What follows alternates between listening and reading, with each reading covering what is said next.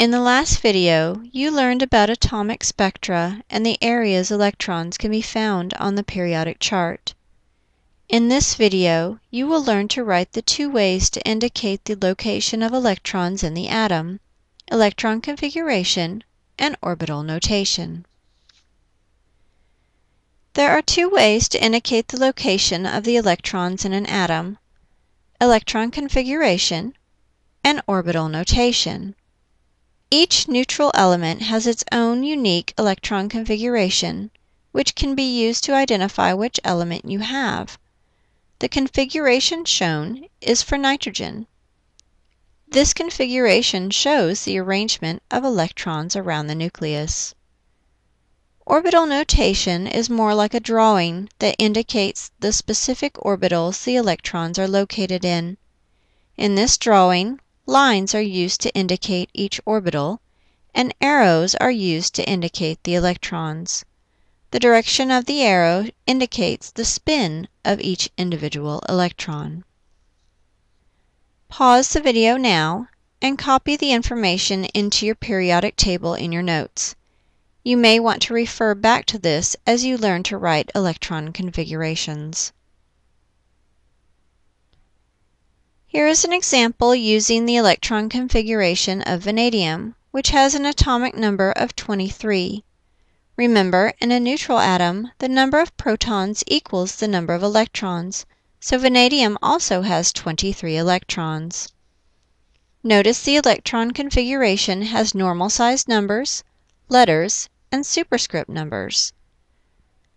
The normal sized numbers in front of the letters indicate the energy level the electron is on. Electrons are always placed on energy level 1 first, so electron configurations for an atom in the ground state always start off with 1s. The letter indicates the sublevel the electron is located on within the energy level. Remember, there are four sublevels you need to be familiar with, S, P, D, and F. The superscript number indicates the number of electrons present on the sublevel. Notice that all the sublevels have the maximum number of electrons allowed except for the last sublevel, which may or may not be completely filled. There are some things you will need to remember when writing electron configurations. The Aufbau principle states that the electrons must be placed in orbitals of lowest energy first. This means that electrons are always placed in the 1s orbital first. A sublevel must be completely filled before placing electrons in a higher sublevel. For example, there must be two electrons in the 1s sublevel before an electron can be placed in the 2s sublevel. The last sublevel may or may not be filled. For example, the d sublevel can hold a maximum of 10 electrons because it has 5 orbitals, but vanadium has only 3 electrons on the d sublevel. The superscripts must add up to the total number of electrons in the atom. Notice that the superscripts add up to the atomic number of vanadium. 2 plus 2 plus 6 plus 2 plus 6 plus 2 plus 3 equals 23. The valence electrons, the electrons on the outermost energy level, are always s and p electrons. For example, vanadium has two valence electrons, which are located on the 4s sublevel, because energy level 4 is the highest energy level written.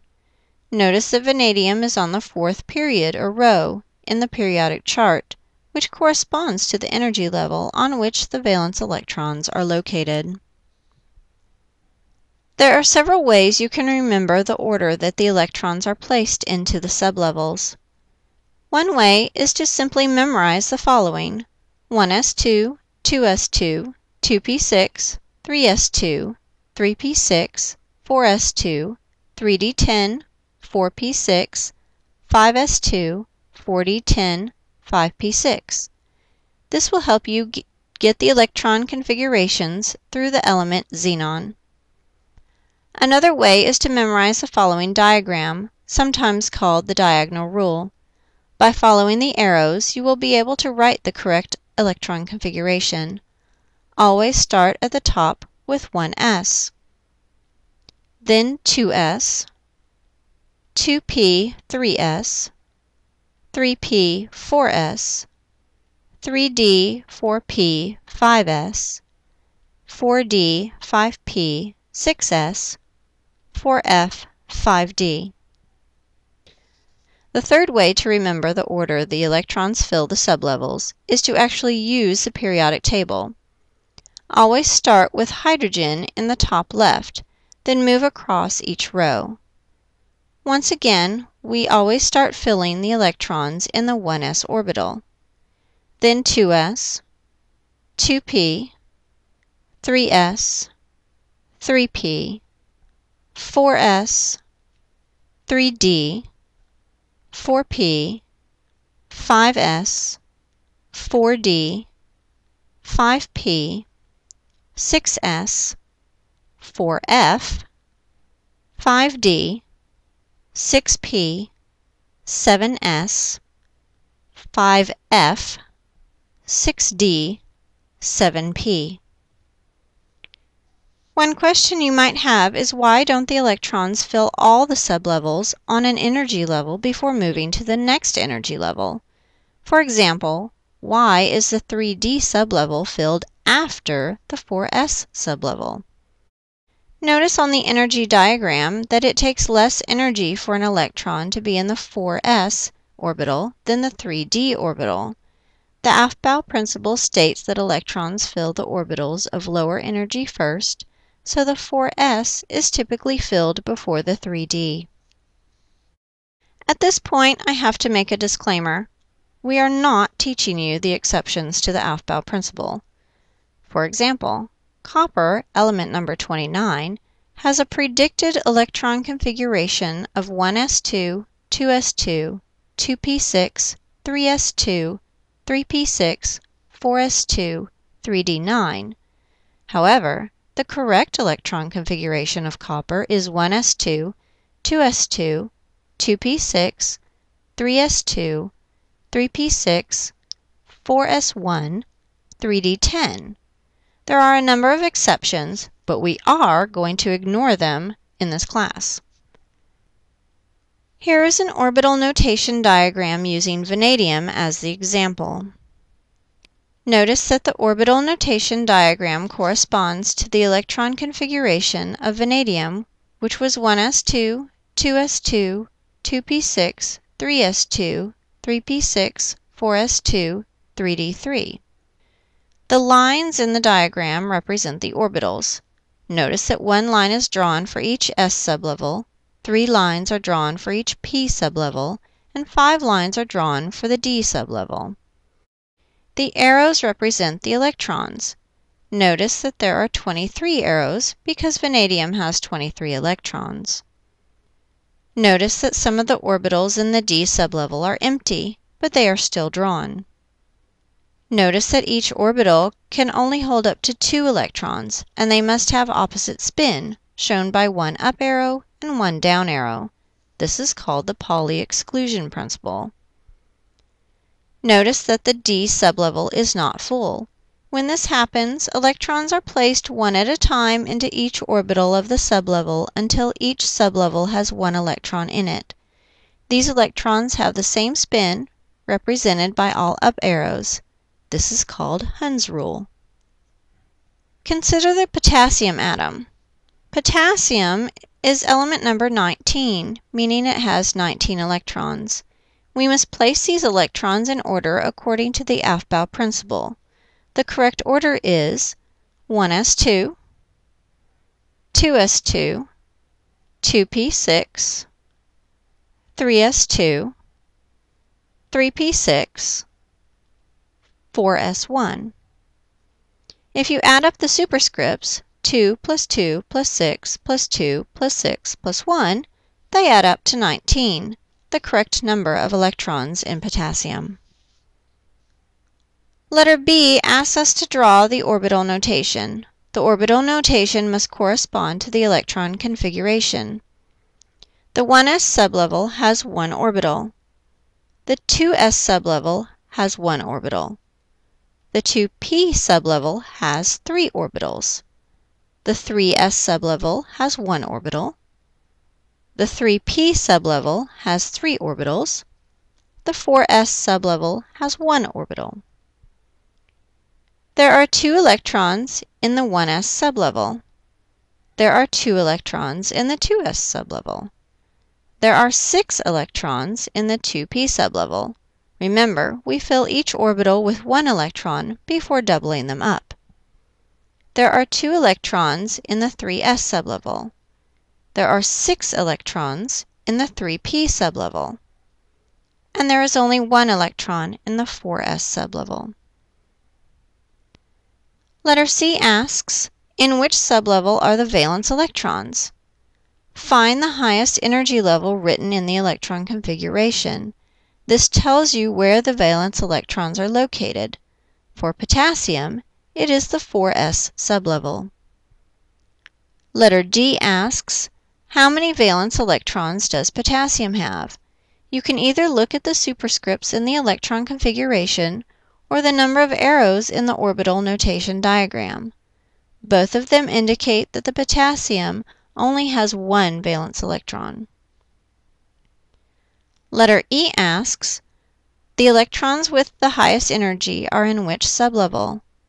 Look at the last sublevel written in the electron configuration. For potassium, it is the 4s sublevel. Consider the bromine atom. Bromine is element number 35, meaning it has 35 electrons. We must place these electrons in order according to the Aufbau principle. The correct order is 1s2, 2s2, 2p6, 3s2, 3p6, 4s2, 3d10, 4p5. If you add up the superscripts, 2 plus 2 plus 6 plus 2 plus 6 plus 2 plus 10 plus 5, they add up to 35, the correct number of electrons in bromine. Letter B asks us to draw the orbital notation. The orbital notation must correspond to the electron configuration. The 1s sublevel has one orbital. The 2s sublevel has one orbital. The 2p sublevel has three orbitals. The 3s sublevel has one orbital. The 3p sublevel has three orbitals. The 4s sublevel has one orbital. The 3d sublevel has five orbitals, and the 4p has three orbitals. There are two electrons in the 1s sublevel. There are two electrons in the 2s sublevel. There are six electrons in the 2p sublevel. Remember, we fill each orbital with one electron before doubling them up. There are two electrons in the 3s sublevel. There are six electrons in the 3p sublevel.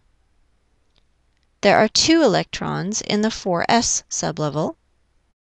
There are 10 electrons in the 3d sublevel. And there are 5 electrons in the 4p sublevel. Letter C asks, in which sublevel are the valence electrons? Find the highest energy level written in the electron configuration. This tells you where the valence electrons are located. For bromine, valence electrons are located in both the 4s and 4p sublevels. Letter D asks, how many valence electrons does bromine have?